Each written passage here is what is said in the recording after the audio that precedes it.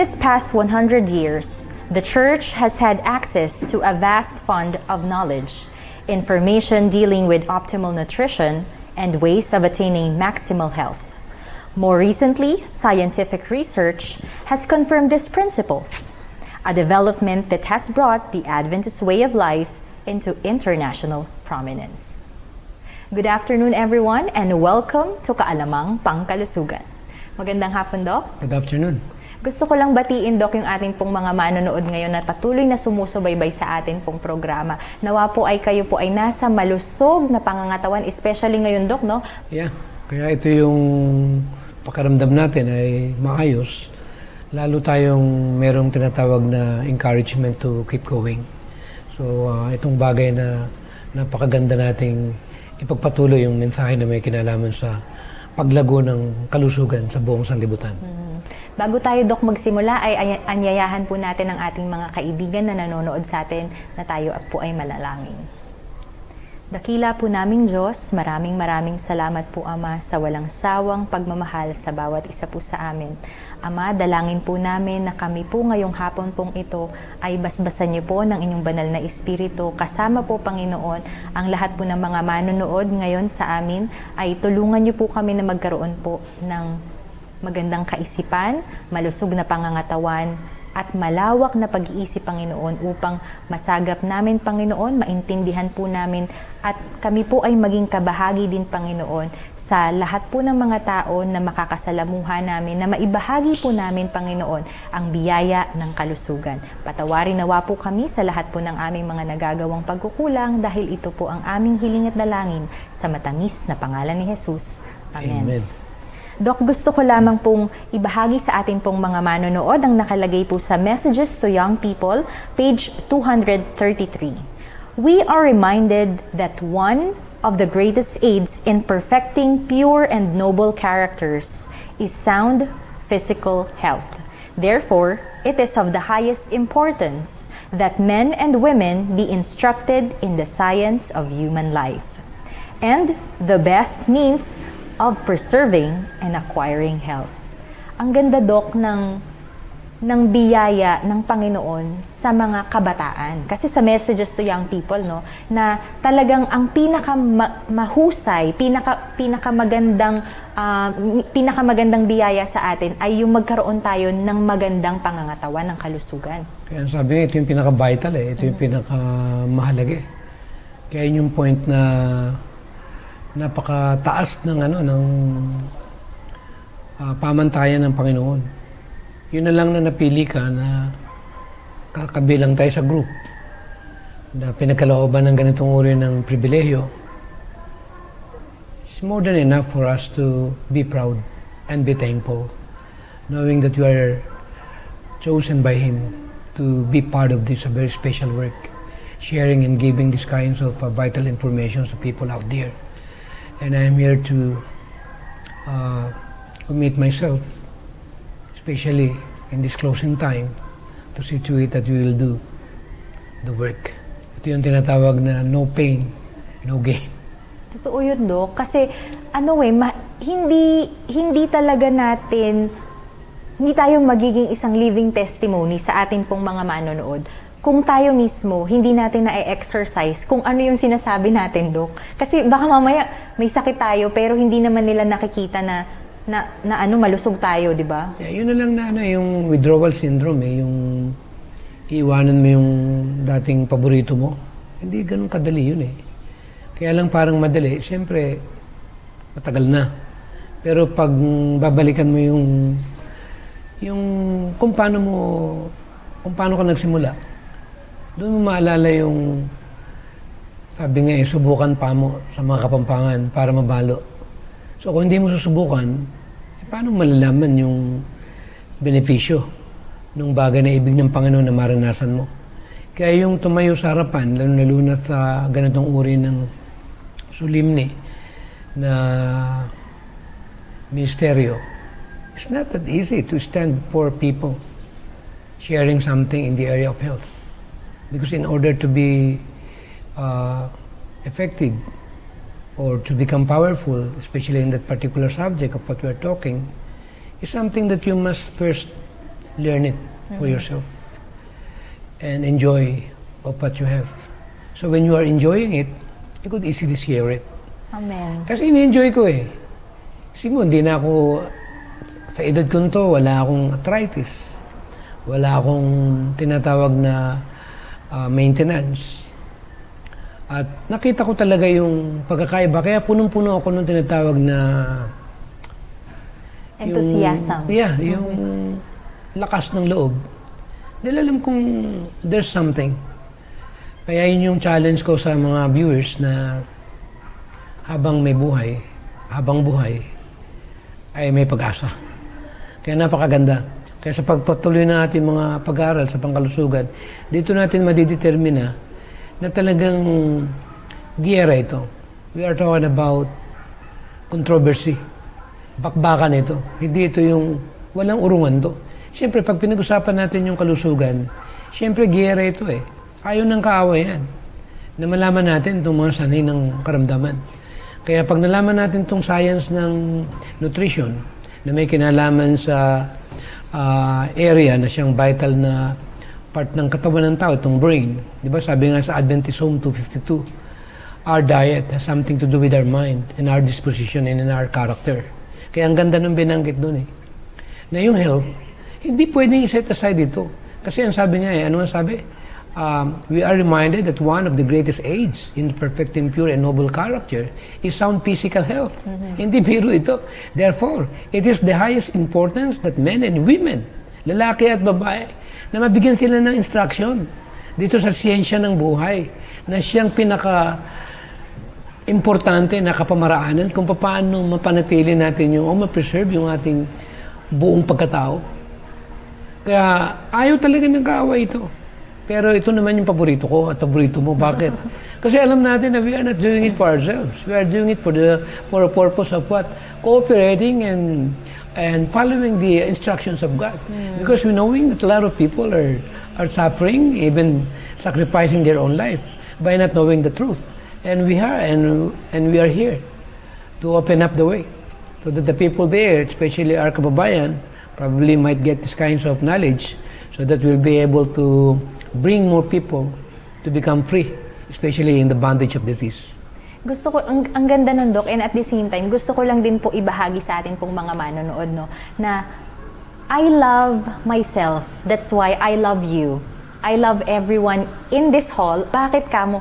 Dok, kasi 'di ba sabi sa Bible, 'di ba? Kung paano natin minamahal ang ating sarili, ay dapat ganun din tayo magmahal sa ating kapwa. That's why we are sharing this information, these facts para po sa inyo, sa ating pong mga manonood. Pero ngayon, mga kaibigan, ang i-discuss po natin ay tungkol naman po sa isang malaki, mabigat na mineral na pangangailangan ng ating katawan. So, ready na ba kayo? Today, let me ask you a very important question. Do you need salt in your diet or do your body need salt? Dok, ikaw, kailangan mo ba dok ng asin? Eh, siyempre, pwede bang wala din yan? Eh, part ng minerals yan. Pero napakagandang pag-usapan ito eh. Kasi to be honest with you, bihira naman ang well-grounded eh, or knowledgeable in that particular subject. And I think even a very simple one, itong tinatawag na bahagi na ganito, kung bisa nakala natin napaka-ordinary eh. Pero to be honest, ang daming uh, napaparalyze at maraming mga naagawan ng kalusugan dahil hindi nila alam yung yung knowledge tungkol dun sa tamang paggamit ng kung tawagin nga namin yung isa yung sa ma o sa M. Di ba may una, diniscuss natin yung matamis. And then ngayon naman, salt, maalat. May isa pang M. Mataba, matataba. O yung mga, ma, yung diniscuss natin, no? yung mga ah, fats na yan, saturated fats. So, dito naman tayo sa maalat.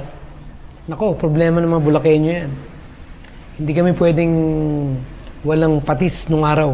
Totoo, Dok, kasi yung mga Yeah. sausawan, ano? Ay, naku, matitindi yan. Eh, siyempre, ah, yun ang kinagisnan yan eh, minana yan eh. Talagang yun ang tradisyon na.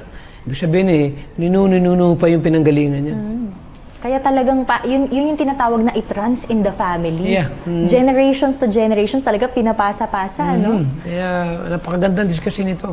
Ayan. So, mga kaibigan, ang pag-uusapan po natin ngayon ay tungkol sa salt o asin. So, salt is actually the big, uh, one of one of the um, dietary source of sodium na, pang- na kailangan din ng ating katawan, ng dugo natin, di ba? Siyempre, sa electrolytes, sa energy natin, nakakatulong din yan. Fluid balance.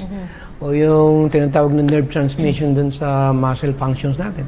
Ayan. And at the same time, syempre, ito din, Dok, yung sinasabi, yung pinag-uusapan natin, Dok, na nakapagpapadagdag ng lasa. Doon sa kapag kunyari, ay, medyo matabang pa. Di ba? Dagdag pa tayo ng ganito, di ba? Okay. Hanggang sa tumaas na yung ano mo, yung, yung tawag doon, yung amount, yung, yung tapang ng panlasa mo. mm Oo, tama yun mga kaibigan na kapag kunyari tayo, nasanay na tayo dundok no, sa mga panlasa na ay maalat, akala natin hindi pa maalat yung kinakain natin, pag, pero kapag yung ibang tao na yung tumikim, sobrang alat na pala kasi yun na yung naging normal na panlasa or yung panlasa ng ating dila. So, itong salt doc, madami yung makikita natin na pinaggagamitan itong salt katulad sa sa ano sa sa soap, sa baking soda. Yung sa ano pala doc, yung sa pagga, yung paggawa ng porcelain enamel, yung sa ngipin natin, Meron din din. pala yan mga kaibigan. Kaya talaga makikita natin na very important talaga ang mineral na salt or yung sodium natin. So, Doc, ano ba yung mga bagay na makikitaan natin or yung mga pagkain na makikitaan natin ng ah, ng ng sodium or ng salt? Uh, are we talking about the natural one or... Ayan, doon muna tayo Doc sa natural. Actually, katulad ng celery, mataas din ng sodium niyan. Hindi, at pangalawa, neutralize siya. Hindi siya o pwedeng makaharm sa loob ng katawan kasi regulated na. Katulad kunyari ng onion, ng garlic, ng lemon, may mga natural salt yan. Lahat naman ng mga fruits, nuts, grains, and vegetables, actually may salt din yan eh. May mineral yan eh. Ganun katalino ang Panginoon. No. Kaya lang talagang sanay tayo magtimple. Mm. Pwede ka namang magkatas ng mga natural na salt na hindi mo kailangan magdagdag ng sobra. At kung kulang ng konti, pwede tayong magdagdag nung Kung magkakurot, a pinch, oh, kuro, yung, ano, yung sea salt natin, okay naman yan. Ayan. Huwag naman tayo masyado namang very, ano, baka mapunta tayo dun sa extreme. na como na reformador na sa kalusugan eh, ayaw nang gumamit ng asin. Eh, delikado naman. Pag-usapan natin mamaya kung ano yung problema din ng kulang sa asin. Oo, totoo yan mga kaibigan Ano yun, kasi may problema yun eh. Pag kulang ka, masama. Pag sumobra, masama. Kailangan, nasa normal range ka. Totoo yan. Kaya nga mga kaibigan, ang topic natin today ay too much is bad for you. Kaya Dok, pag-usapan natin, ano naman, kanina pinag-usapan natin Dok, yung, norm, ah, yung natural na sources ng ating salt. Ano naman yung, ah, yung makikita naman natin ng mga, ano ba, ano bang tawag doon? Na hindi natural. yon hindi natural. Hindi, ang madelikado, yung nabibili mong processed food na nandun na. Eh, syempre, in order na magkaroon ka na addiction, para bumili ka lagi nun, eh, nilalagyan nila nung, hindi lang yung pampalasa, kundi kailangan ding pataasin yung panlasa ng salt, o taas ng salt, para ma-addict ka. At saka Dok, ano, Pag na-addict ka ngayon, syempre, bibili ka. Paulit-ulit na. Mm. At saka, Dok, di ba pinapatagal nito yung buhay ng isang, kunyari, kung karne man yan, kung ano man yung mga Lalo nabibili na yung natin hotdog, sa... ano. yung mga sausage na yan. Siyempre, templado na yan eh. Lalo na yung mga nabibili na, ano nga yun, yung parang Bacon? bacon. Ayan, oo. Ayan, matitindi ang amount ng salt niya. Kasi preservative din kasi eh, ang salt eh. Para hindi agad masira. Yes, oo. Pero ang problema nun, yung parang inaano mo na, ina-embalsam mo na yung katawan mo, embalming effect. Parang ano, naging graveyard yung Oh, pinaka nilalagyan pa nga ng formalin yan eh. To be honest eh. Para tumagal. Para tumagal yung buhay na hindi siya anayin. Ano tawag doon? Yung Amagin. amagin. Oo, yung O masira, kaya mabulok agad. Yung mabulok. Ayun, mabulok Agnasin. agad. Mm, yun, kasi, ma- mm. kasi lagnat, ano sa karne Flesh, yan eh. oo, flesh yan kasi eh. siya eh, meat So siya yung eh. point na tayo mga Pinoy, talagang lumaki tayo na akala natin, pahintulot ba nila yan kung makakasira sa katawan. Hindi na ako naniniwala doon. Hindi na ako naniniwala pagdating sa anything na kakainin ko. Kaya nga sabi ko nga, basta isang bagay na ipapasok sa katawan mo, pag-aralan mo muna. Ano ba yung ingredients nito? Paano ba pinrocess ito? Kaya ang pinaka-point dito, alam naman natin na talaga yung sino bang po humatol o kaya na humusga. Eh alam naman natin, kung mapag-aaralan lang ng ating mga kababayan, siguro minsan i-topic natin yan, yung immunology, iiyak ka. Sasabihin mo sa sarili mo, napaka-blessed ng tao. Dahil nilalang ang Panginoon, Panginoon ng katawan na ito. Na talagang lahat ng uri ng proteksyon. Kumbaga sa sundalo, hindi lang kampo aginaldo. Meron pang tinatawag na ah, iba't ibang departamento ng ah, kasundaluhan para lang masiguro na hindi kayang pasukin ng anumang uri ng kalaban. Kun- Talo ang tinatawag na peace and order ng kahit na anong gobyerno all over the world.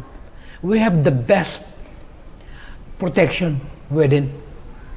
Na hindi mo po pwedeng i-alter. Hindi mo po pwedeng sasabihin mo meron akong bago. No, no way. It's not gonna happen. Hindi pwede. Talagang ito yung, kaya yung mga kabisado yung mga biochemistry, yung binanggit ko sa iyo kanina, yung tinatawag na nitric uh, oxide. Just imagine that. Yung arginine. Yun yung nagbuboost dun sa tinatawag na nitrate na yun at yung bacteria. Pag nagsama yung dalawa, na ito palang nitric uh, uh, oxide, na ito, eh halos lahat pala ng sakit, papasukin ka eh, pati yung atake sa puso eh. Kaya napakaganda, kaya, pag, kaya itong mga scientists ngayon, na ang specialista eh, biochemistry, molecular biology, eh paano mo i-deny ito? Pumapasok ngayon dito yung fruits and vegetables, nuts and grains. Kaya isang good news to everyone na talagang pag tayo ay merong knowledge tungkol dito, talagang mamumulat ang ating mga mata na napakayaman ng ating katawan na hindi basta na lamang tayo dadapuan. Kaya pag pinag-usapan natin ng magandang ah, bakuna, ang unang-una nating bakunahan ay yung ating bibig. Eh kahit injikan ka ng bakuna dyan, kain ka ng kain itong mga maalat na ito. O yung mamamantika na yan. O yung matatamis na yan. Na binabanggit natin ng mga nakarang episode. Kain tayo ng kain ng red meat na yan. Tapos sasabihin mo sa iyo, "Ah, paano bang paraan para lumaban ng katawan ko? Eh meron din tayong natural defense mechanism against virus eh. Yung first line defense natin, dito pa lang atakehin na yan eh. Kaya yun yung point na wag tayong mag-alala. Pag nagkaroon ng atake yan, it means lumalaban ang immune mo. Di ba? So ito yung napakaganda natin pag-usapan. Ang ganda, ang ganda, Doc. Alam niyo po mga kaibigan, itong nitric oxide na sinasabi po ni Doc ay naging topic natin yung Doc nung mainit na mainit talaga na tungkol kasi sa red meat. So, napakaganda pong pag-usapan talaga. Ang kalusugan kasi napaka-broad, napakalawak po, Doc. Ay, naku, walang katapusan ito. To be honest with you, sasabihin na gano'n ba katagal yung pag-aaral na No way. There is no end. When you are uh, involving yourself in the area of natural medicine, actually, to be honest with you, there is no limit. Hindi yung one year ba yan, two years ba yan, three years ba No way. Ang daming libro. Isang area lang, doon pa lang, halos sasabihin mo na, hindi mo kayang tapusin.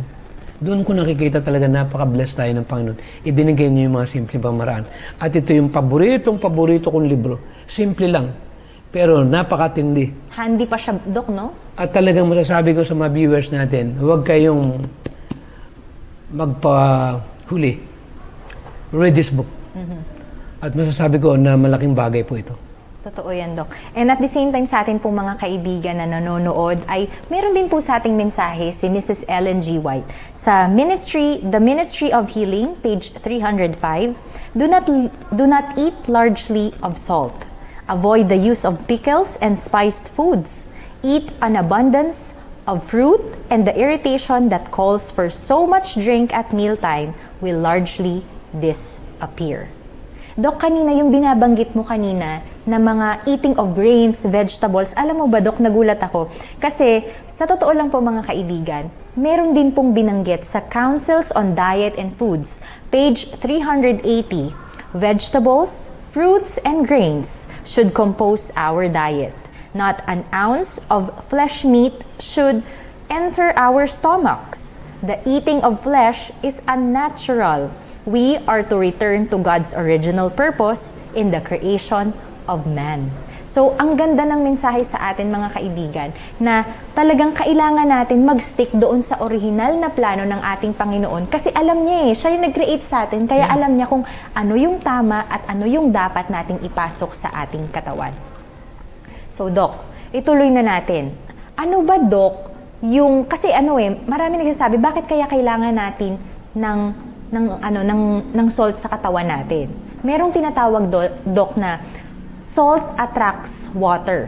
Yung hygroscopic, kung tawagin sa kanilang term, ng meaning nito ay nag attract ito ng tubig. Kaya ang tendency ay marami yung kauna edema, Okay, yung manas. yung manas. Kaya talagang, alam ko naman marami na nakakaalam nito.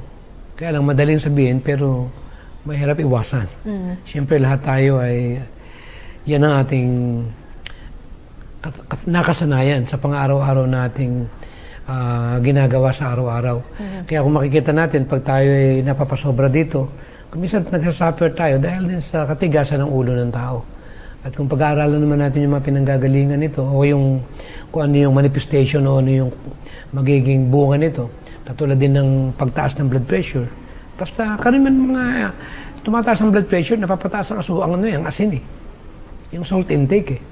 Ngayon, pag, kunyari, ngayon tanghali, na high blood ako, alam kong maalat yung kinain ko, dapat, mamayang gabi o bukas ng tanghalian, dapat markahan ko nito. Mhm.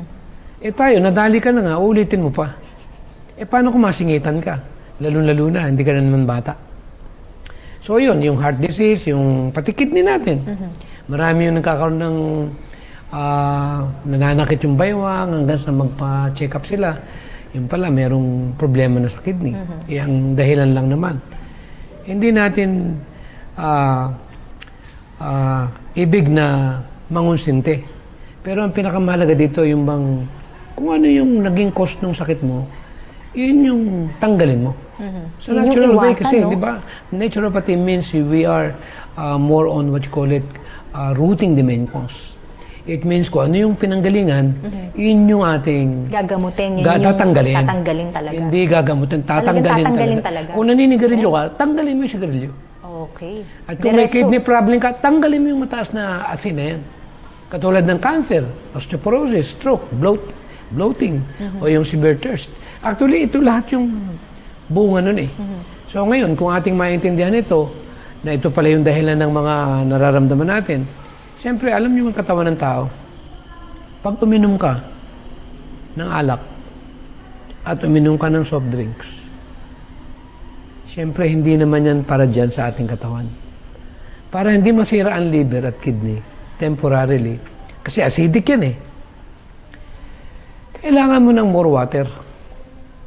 Kaya ang gagawin ng katawan, kung wala kang sapat na tubig sa loob ng katawan, para i-flushing, para ihi mo. Pag inihi mo, tataka yung mga umiinom, di ba? Uso sa probinsya, yung tataka sila, ting umiinom sila ng alak. Ihi ng ihi.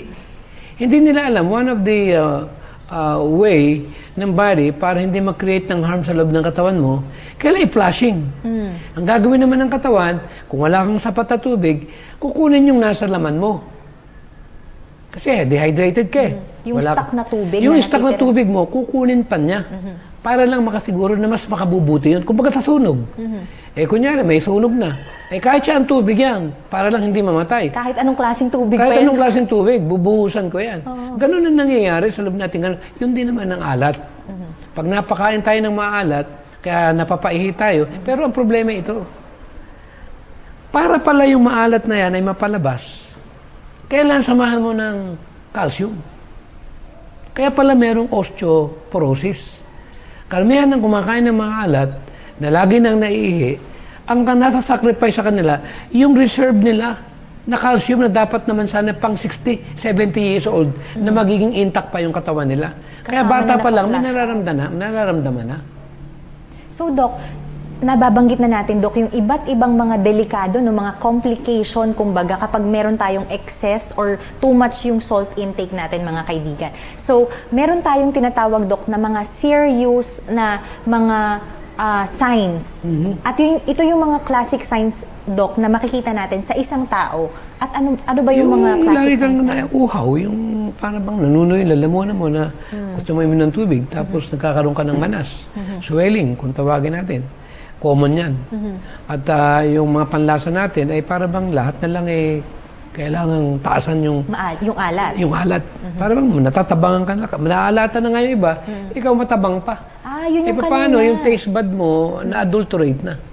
Okay, so parang ang nangyayari, Doc, yung pinaka, mga kaibigan, yung ating pong panlasa na dapat ay konti lang sana, maalat na to para sa atin. Pero Hmm. dahil nasanay na yung panlasa natin, Yung na-over ano na siya, yung Okay. adulterated. Ibig Sabihin, it's no longer normal. okay, ganun Di ba ganun yun. din naman yung pag-inom ng alak? So, umpisa, ang bilis mong tamaan. And then later on, kunyari isang bote lang, tinatamaan ka na. After mga Pero sige ka pa rin, ilang no? buwan na nasanay ka na nasanay, kahit limang bote, hindi ka pa rin tinatamaan. So, kasi mataas na yung ano mo, yung ah, ano ng Yung, yung, toler, yung tolerance, tolerance, ng body mo. mo. Na-adapt na niya. Pero ang problema, yung chronic ah, effect nito. Na later on, damage na pala yung kidney mo, yung heart mo, yung brain mo, and, and everything. Dok, napag-usapan na natin sa ating po mga kaibigan, um, napag-usapan na natin yung mga symptoms kapag meron tayong intake na sobra talaga sa asin. Pero ano naman, Dok, yung maaari natin gawin, for sure yung ating mga manonood ngayon, ay nakikinig sila talagang sinusubaybayan nila kung ano ba yung gagawin natin kapag sobra na yung intake natin ng asin. Actually, ang number one dito, mag-water therapy ka. Kung kaya mo fasting for the whole day. Iba naman, nagpo-fruit fasting, three days. Kaya kung magagawa natin yung mag-fasting once in a while, like once a week, isa sa nakakatulong yan. Sa kailangan talaga tubig talaga, kumbaga sa lahat ng dumi, ano eh, nililinis niyan eh. Parang car wash. Lagi mo nililinis yung tayo, naliligo, di ba? So ang tubig sa loob yan eh. Kaya pag uminom ka ng maraming tubig, lalo na pag ang tubig ay hydrogenated or something na live, kasi oxygen yan eh, hydrogen. So yun yung pinopoint ko na napakabilis mag-cleanse, lalo na sa may mga kidney, na malaking tulong talaga yan. Pangalawa, kailangan talaga natin na number one, para matanggal yung mga ganun, huwag nang dagdagan. Habang nagtatanggal, nagpa-fasting ka, ay sa susunod na bumalik ka sa normal na pagkain mo, sana wag mo nang taasan. Okay. Para yung, yung normal na source na Normal na lang hanggang sa masanay na rin yung, merong neuroplasticity lagi yung binabanggit. Kung ano yung pinractice mo, susuplayan ka ng brain pathway mo, para yung matabang na panlasa ay ma-adapt ng body mo and later on, makatikim ka lang ng konting maalat, naalatan ka na. Yun yung kailangan na matrain tayo. Yun ang good news naman. Kung, kung sanay ka sa maalat, binago mo. Walang, di ba lagi kong binabanggit ito? Kumbaga sa isang daanan dito sa kagubatan. Pag laging dinadaanan yan, later on, nare-recognize mo na daan yan. Pero pag hininto mo yan, at matagal, taon mong hindi napuntahan, tutubuan ng dawag yan. Hindi na marirecognize yan. Ganon din tayo sa wrong practices. Pag yung mga wrong practices natin, hininto natin, later on, hindi mo nahanapin. At kung yun namang mga wrong practices, lagi mong ginagawa, magiging linya yan, magiging pathway na yan, hanggang sa magiging ugali mo na yan. Hanggang sa hanggang ikamatay mo na yan. Hindi mo basta maiiwanan. Ayan. Mga kaibigan, nandito na tayo sa mga portion. Ihanda nyo na po yung cellphone nyo. Kung kayo man po ay nanonood via Facebook or YouTube, you can send your comments, your questions, or suggestions dito po sa Hope Channel North Philippines or mag-text po kayo sa mga numbers na magpa-flash sa inyong screen. Ngayon, Doc, dadako na tayo. Kanina binanggit natin yung ibang mga complications or mga sakit na makikita or makukuha natin dahil dun sa cause ng too much intake ng salt. Itong problema, dapat marunong din silang bumasa. Okay. Kung bumibili ka ng chichirya, yung mga chips na yan, I'm sorry, tingnan niyo yung amount ng sodium. Pag nakita mo mataas na, tapos tinikman mo, parang matabang pa rin. Eh, ang taas na. Something wrong, may problemang malaki ka na. Hindi biro ito. Kaya importante, lalo-lalo na sa mga 50 above, maraming inaatake sa puso because of that. Kung minsan kung ano yung niisip nila, baka daw stress. Actually, pagtaas ng blood pressure mo at tumaas yung acidity ng dugo mo, tapos kulang ka sa nitric ah, oxide na yun, hindi na magiging, hindi na mag-open. Hindi na flexible yung blood vessels natin. So ngayon, pwedeng pumutok. Okay. Kaya marami yung sa... Ngayon, worth ba sa asin ng buhay mo? Ipagpapalit mo ba sa asin yung buhay mo? Hindi. Asin lang yan. no way. Asin lang. Tapos nandun ka sa hospital, nasa ICU ka. Mm, Nang dahil lang sa Nang asinan. dahil lang sa asin. Ayan, sa ating mga manonood, uunahin ko na, didiretsuhin na po natin, Dok, ano ba yung epekto? Bakit tayo nagkakaroon ng cardiovascular disease kapag mataas yung intake natin ng salt? ng salt. Isa yun. So, ang pinopoint natin dito, eh, at least meron tayong knowledge tungkol dyan. Kaya nga maraming mga study ngayon, yung cardiovascular disease. According na naman ito sa Harvard School of uh, Public Health, ay nakikita natin na kanilang pinag-aralan ito, itong may kinalaman sa bagay na ganito, ay dapat na rin tayong maging aware, ma-remind tayo. na talagang magkaroon tayo ng tinatawag na, uh, delikado pala yan. Ikukwento natin sa iba ngayon. Lalo-lalo na sa mga may edad na. Na mahina na talaga yung blood vessel. Siyempre, di ba yung sasakyan? Yung mga hose. Kitang-kita ko yan eh. Yung mga nabili kong sasakyan nung araw. Nagtataka ako bakit later on nagpung- naglilik. Yung pala, lumulutong. Kahit nga yung goma ng sasakyan. Pag nakaapat na taon na pala yan, kahit sabihin mong makapal pa, pwedeng sumabog sa daan yan. Kasi malutong na yan. Eh lalo pa yung mga edad na 40, 50, 60, 70. Alam mo na malutong na. Kulang na nga sa nutrients dahil kulang na nga tayo sa knowledge. Basta alam lang natin kung ano yung normal na nakasanayan natin. Hindi ba it is really a high time to uh, give some sort of awareness and education to people, especially sa edad na katulad ko. Kumbaga sa sasakyan, classic eh. Ano tawag doon? Vintage ba yun? Oo, vintage. Eh dapat, alamin mo ng lahat yung hindi, yung match na pagkain sa'yo, yun yung i-match mo sa edad mo. Kaya nga, pag nagbibigay kami ng lecture, sinasabi ko sa mga taong pumupunta sa aming seminar, kailangan isipin ninyo at alamin ninyo, ano ba ang diet na bagay sa mga edad na senior citizen? Ngayon, kung hindi mo alam i-match, I tell you, hindi, you're not gonna get longer. You die. Diretso yun, Dok, no? To Talaga. be honest, alam mo na na hindi na ganun katindi yung... May edad ka eh. Luma na yung katawan mo. Kumbaga, wear and tear. Wear so, and dahil tear. ginagamit natin yung katawan natin, syempre, may ang physical good, activity. Pero yung good news, Mm. pag pala ang katawan natin eh nakapag-repair at napalitan mo within a, within a year, three months, di ba, ang dugo, six months ang tissue, one year ang organ. Pag ikaw pala continuous yung diet mo, exercise mo, and everything, tama yung kapaligiran mo, yung 60 pala, kagwapuhan yan. So, ang ibig sabihin ba nito, Dok? Kagwapuhan pala itong edad ko. Eh, Sabi ko, hindi pa huli. Oo, eh marami nga dyan yung 60, namamatay na. Eh paano hindi nakakadinig ng mensaheng pangkalusugan? Kaya ito yung point na, kaya kami naririto, dahil gusto talaga namin po ay maroon tayo, magkaroon tayo ng tinatawag na awareness. At the same time, magbigay ng good news sa lahat-lahat ng ating mga viewers na hindi pa huli. Sabi nga, habang may buhay, may pag-asa. Amen. And at the same time, Dok, syempre pinag-usapan natin mga kaibigan yung cardiovascular disease. Ngayon, Dok, ano naman ang connection ng asin or ng sodium doon sa ating chronic kidney disease? Eh, siyempre, ang kidney kasi, yan yung taga-filter eh. Yan ang nagdadialysis eh. Siyempre, hindi nang pwede niya ipump yung ng puso yung dugo. Unless masiguro niya na hindi madadami ang lahat ng bahagi ng katawan. Kaya ang kidney ang papapil dyan. Pag tumaas ang sodium mo, ang gagawin ng kidney, kukunin niya yan. Saan mapupunta yan? Siyempre, yung filtration system ng kidney, sa katagalan yan, kumakapal. Kaya yung nangyayari, nahihirapan. At pag nandun lahat yung burden, ayun na, nagkakaroon ng kidney disorder. Kaya nagkakamanas na. Dahil hindi na niya magawa yung trabaho niya. Marami pa tayong mga bagay na napakagandang pag-aralan tungkol dyan. Na itong tinatawag na bahaging ito na may kinalaman dito sa pagpapatanggal ng ng salt na ito sa loob ng katawan, hindi madali yan. Lagi nang may isa-sacrifice yan. Hindi po pwede yung ah, basta na lamang na gano'n na lang kadali yan. Kaya ang problema nito, i-plastic mo man, uminom ka ng uminom ng tubig, para maihi mo yan at sumama yung acid na yun o yung salt na yun, kailangan samahan mo ng calcium yan, ng ano, ng minerals yan. Ngayon, ang tanong, paano yung calcium natin na, na, na level ng ating katawan? Saan kukunin? Siyempre sa laman mo, sa buto mo. Kaya may mga nangyayari na, Ayun. sabi nga, yung osteoporosis. Yes, kaya doon nagkakaroon ng osteoporosis, Dok. Kasi nafa-flash natin yung sa, through, through sa pag-ihi po natin, mga kaibigan, ay talagang yung mga minerals na kailangan dapat ng katawan, na supposedly ay talagang, kumbaga parang ito yung fuel, ito yung gas ng katawan natin, hindi niya ngayon magamit kasi nga dahil sobra, ilalabas Di niya ba ngayon. yung nung araw?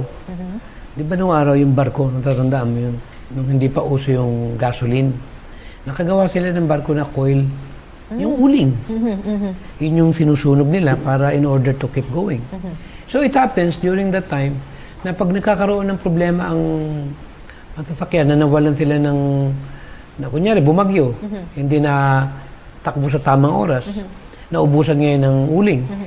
Alam mo yung ginagawa ng kapitan? What can we do? Kaysa naman nandito sa karag- ka- karagatan. Pwede tayo kailan, makamove tayo kahit paano, makalapit tayo dun sa pampang. Alam mo yung ginagawa nila? Kunin lahat na ay kayang kama.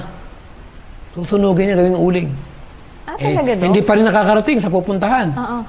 Kunin ka muna yung mga ding-ding-ding-ding na kahoy dyan. Lahat ng pwedeng makuha. Basta kahoy. Sisirain talaga yan, basta kahoy. Gagawing uling yan. Ang tanong ito, kaya ba natin gawin sa katawan yun?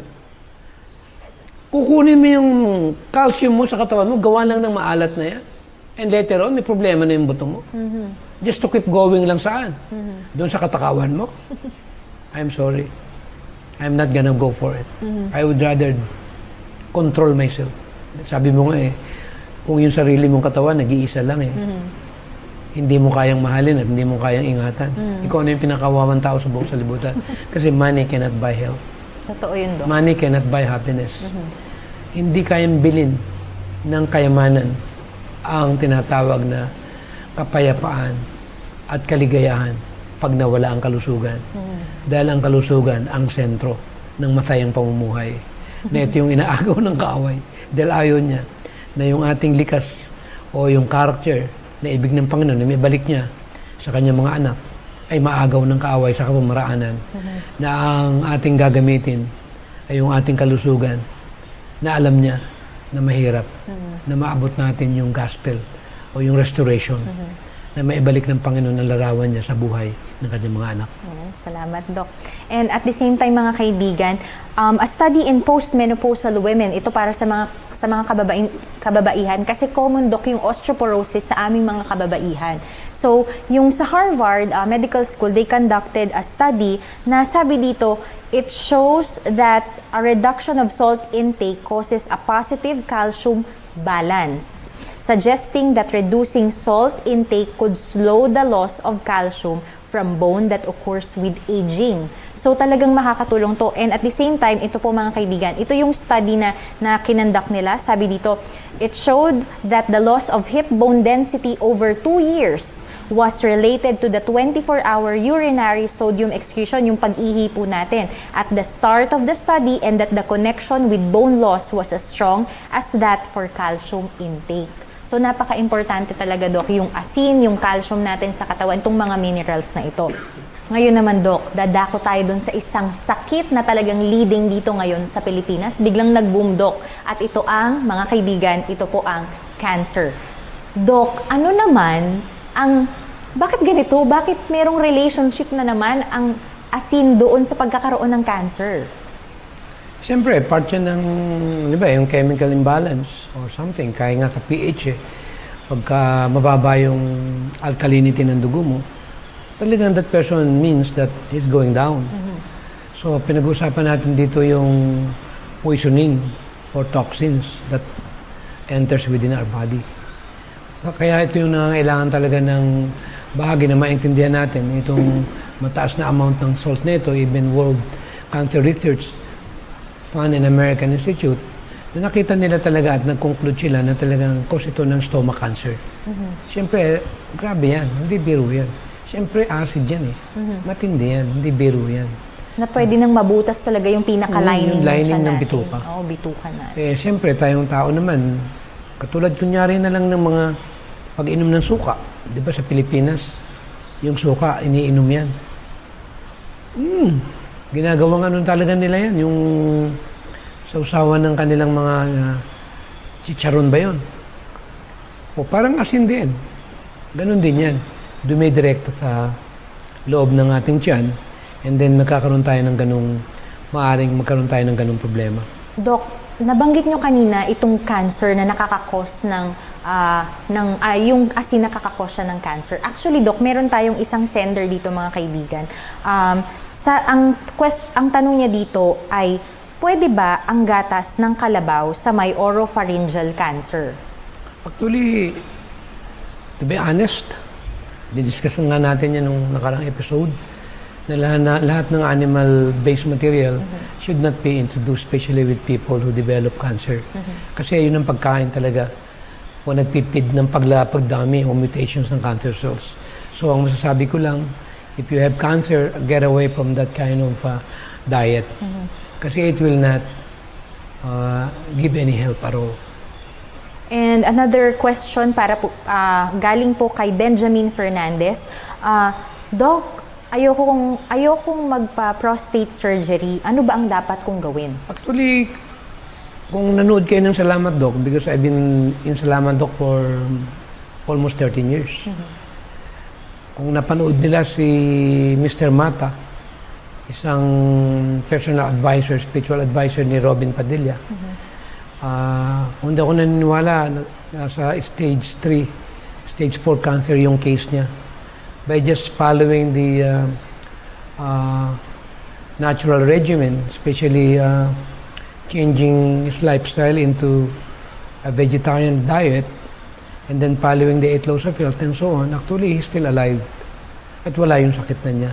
At lumakas pa yung katawan niya. At ang sabi pa nga niya, hindi niya halos mapaniwalaan, bumalik yung, yung pagkalalaki niya. So yun yung point ko na pag tayo nakakakain itong mga foreign substance na car- carcinogenic material, especially yung mga, I'm sorry, may mga certain uh, flesh food ngayon na treated ng hormone na ang kababayan ang tinatamaan na yung matres, ovary, o yung breast. Sa lalaki, kalalakihan naman ay yung prostate. So lalo na pag may edad na. So I would suggest na lahat naman ng mga kumakain ng natural, vegetarian, basta nag-exercise tayo, nasa tamang environment tayo, at meron tayong relasyon sa ating Panginoon, ako naniniwala na kayang i-repair ng body yan. Kasi kumpleto naman tayo. Kaya yung natural healing o yung tinatawag na regeneration process ng body, as long as you are providing enough material, katulad nga ng essential amino acid, kaya nga laging binabanggit ito, na po pwedeng mag-regenerate ng panibago at po pwedeng lumaban talaga sa mga ganong uri ng karamdaman ng katawan ng tao at maibalik ng Panginoon yung kalusugan na nangawala sa kanila. Kaya nga sabi sa Exodus 15.26, ang sabi nga niya, sumunod muna kayo and then ibabalik ko, tatanggalin ko yung karamdaman ninyo. So yun yung point na, ang gusto ng Panginoon naman talaga yung maging masunurin ka muna. At kung sumunod ka, sangayon doon sa pa protocol at pamantayan niya, and then, sweldo will follow. Ikaw ba pag nagtrabaho ka, sweldo agad? Hindi ah. Eh, wala namang ganun eh. Mag-gym nga, hindi agad lalaki yung muscle mo eh. Totoo. It Kailangan will take time. pagtrabahuhan Yeah. mo muna. Oo. Ayan. Ah, Doc, natapos na natin, Doc, mga kaibigan, yung ating pagkain ng sobrang asin sa ating katawan. Ngayon, Doc, pag-usapan naman natin, kapag, paano naman, Doc, kapag yung less naman, kapag kulang naman yung asin sa ating katawan? Eh, nagkakunta hyponatremia. Ito yung pag bumaba yung amount ng salt sa loob ng katawan natin o sa dugo, may mga sintomas din ito na maaaring mangyari. Kakaroon tayo ng dehydration, yung kung tawag na problema rin ng brain, brain swell. Namamaga yung brain natin. Saka yung naglilid ito sa pananakit ng ulo, seizure, coma, and even death. Kaya yung mga sasabihin nila, oh, ako, wala na akong salt ngayon eh.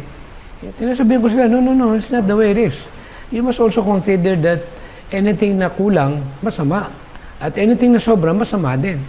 So, doon sa mga viewers natin ngayon, siyempre marami yung kung tawagin nila eh, reformador na sa pangkalusugan. Pero ang tanong, pero kung kulang ka doon sa amount ng salt na yun, tendency, you might probably kill yourself. Ang tawag ay killing me softly by not knowing it. Ang tawag dito, pagpapakamatay ng hulugan.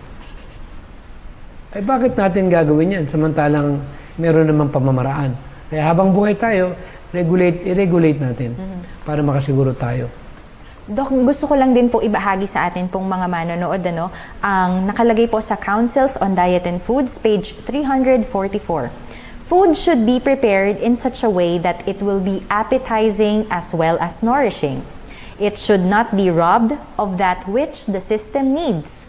I use some salt and always have because salt, instead of being deleterious, is actually essential for the blood. O di ba? Si Mrs. White mismo nagsabi 'yon mga kaibigan na gumagamit din siya pero hindi niya pa rin ninanakawan yung katawan niya kung ano yung kailangan at kung ano yung sobra hindi niya rin ginagawa. Kaya napaka-importante na talagang meron tayong disiplina, Dok, ano, at yung pagkokontrol natin sa ating sarili at sa atin pong panlasa. Yung word na disiplina, grabe yan. yan ang, may kasing, meron kasi akong nakausap eh. Yung nung naglalaro ako ng basketball sa Glendale, doon sa YMCA. Eh syempre, mahilig ako mag-basketball. Nag- May gym doon eh. Nag-i-steam din kami. Meron ako nakalaro ng basketball, 73 years old. Grabe yung movement niya, hindi ako makapaniwala. Yun yung naging ano sa akin, yung bang...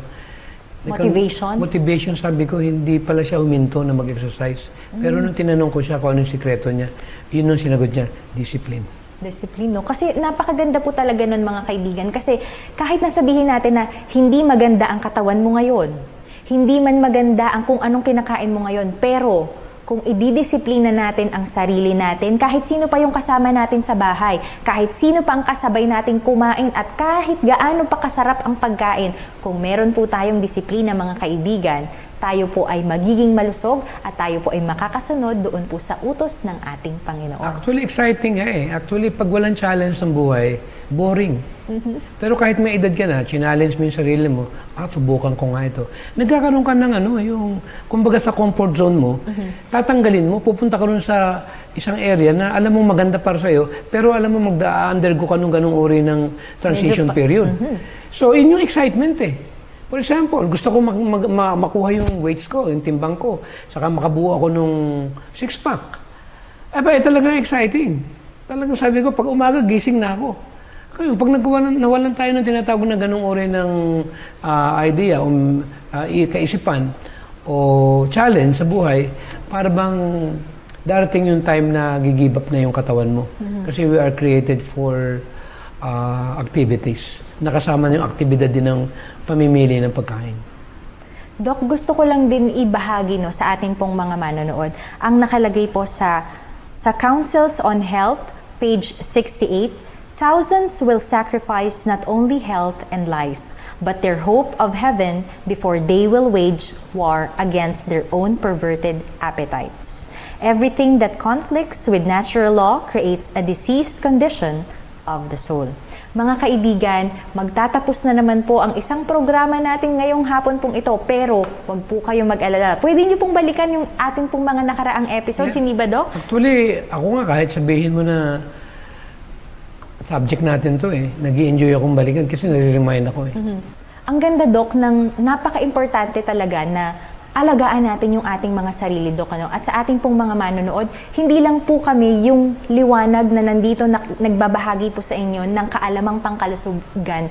Bagkos kayo rin po ay meron din po kayong ano, meron din po kayong pwedeng gawin. I-share niyo po ang programang ito sa inyo pong mga kaibigan, sa inyo pong mga kamag-anak, o sa kahit hindi niyo kaibigan, kahit sabihin niyo na may nakita kayo na may nararamdaman ng mga tao, ay, okay, ah, friend, brother, sister, o kung sino man yung mga kapitbahay nyo na hindi nyo man ka-close, di ba? Pero kapag tayo ay nagbigay sa kanila ng isang ah, ah, advice, Doc, no? Pwedeng ganito na, pwede mo sigurong bawasan yung pagkain mo ng asin o kaya yung pagkain mo ng red meat kasi baka yan ang nagiging source ng iyong mga sakit. So, napakahalaga pong bagay yon mga kaibigan na ibahagi po natin sa ibang tao o sa ibang mga kakilala natin itong programang ito. Gayon din po, lalo na ngayon Dok na merong pandemic at may mga lockdown na naman sa ibang parte ng ng mundo ay talagang napakahalaga po na tayo po ay gamitin natin yung ating internet connection yung yung social media na ibahagi kung ano po ang impormasyon tungkol sa kalusugan. Ang dali lang naman, iyan mo lang sa YouTube, di ba? Kaalaman pang kalusugan, ando na. So ito yung bagay na malaking tulong para sa bawat pamilya. And sa ating pong mga manonood, kung kayo po ay may mga katanungan, may mga suggestions or comments, kayo po ay pwedeng mag, ah, mag-send po sa amin pong mga, sa mga numbers po na magpa-flash po sa inyong screen. Gayon din po sa amin pong comment box below. Okay, ngayon po ay natapos na naman po ang isang ma- mahabang pag-uusap tungkol sa kalusugan nang hindi po kayo naboboard. Naboard po ba kayo mga kaibigan? Marami pa po kaming pag-uusapang ibang mga bagay tungkol po sa iyong kalusugan at sa aming kalusugan. Kaya ito po ang isang iiwanan namin na isang salita mula sa Councils on Health, page 116.